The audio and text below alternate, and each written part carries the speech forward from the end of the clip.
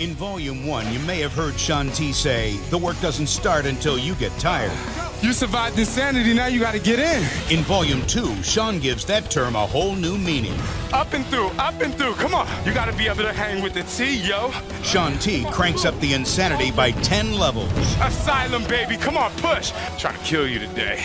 You'll learn new moves and training techniques straight out of sports training that'll challenge you physically. In order to be an elite athlete, you gotta work. Come on, go, go, go. She's in pain right now, but it's a good pain. But more important is the mental focus you'll need to endure at the end. That's what will separate you from the competition. You should be screaming. Everybody in your neighborhood should know that you are working out right now. Asylum Volume 2 is on its way, and I'm coming to get you. Insanity the Asylum Volume 2 Elite Training Series, coming fall 2012. Do you guys think I'm crazy? Yeah.